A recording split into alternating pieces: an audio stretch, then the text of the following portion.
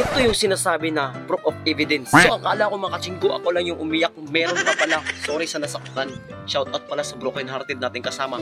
Apple Nicole. Este, Apple pala. Kaya shoutout dyan kay Kyla, kay Robin Hood, pati na rin kay Michael Jackson. At sorry, may nakalimutan pa ako si Kobe Bryant at si Supika Shi, na asawa ni Tuan Shi. So from the beginning of this content mga kaching, Sina-shoutout ko pala yung Sonsing Nim po natin na magaling magluto ng Bicol Express kasi nga taga Bicol.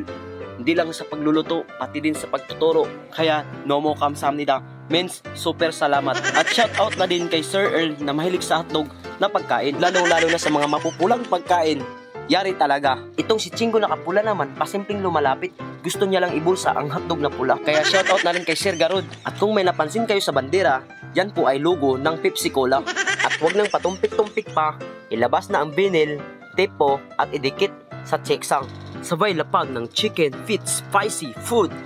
At dito nga guys, inayos nga namin dali-dali yung plastic na dinikit namin sa checksang para hindi madumihan. Kaya salamat na rin kay Kobe, pati kay Michael Jackson sa pag-a-assist. Ito yung tinatawag na Bicol Express na lotong Bicolana. Ito naman yung chicken spit na lotong Indiana. As you can see naman mga garod, mga kachinggo, hinukay na ni ma'am yung graba, sabay lapag sa kalsada kasi nagugutom na ang balyena. Tsaka ito mga kachinggo, real talk ito. Kaya thankful ako na dito ako napadpad sa mga taong matataba ang puso. At this time, dali-daling hinain ni Kobe Bryant ang pulang hotdog ng malapag na ito sa mesa. As you can see naman guys, napakasarap ng pagkain namin today. Kaya ayun nga guys, sa bawat take ko ng video, ako ay naglalaway na. Parang gusto ko na isubo yung kanin na umuusok pa. Sweet lang guys, gusto kong ipakita sa inyo ang kabuuan po ng preparation po ng pagkain po namin today.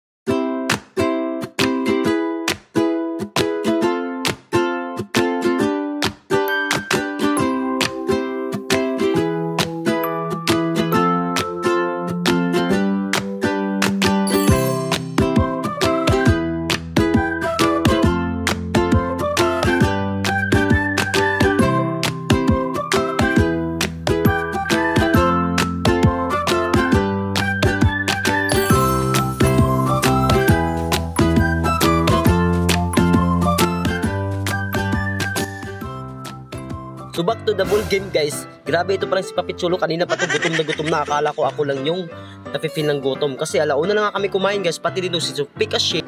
Ayaw din pagpatalo. Siya nga pala guys, sila pala yung grupo ng Gangnam Style.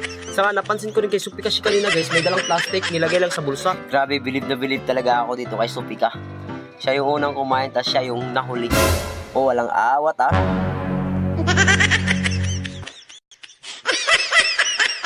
Uy, Tanggalin mo! Tanggalin mo! Mamaya na, pagtapos mo kumain. Pandayot.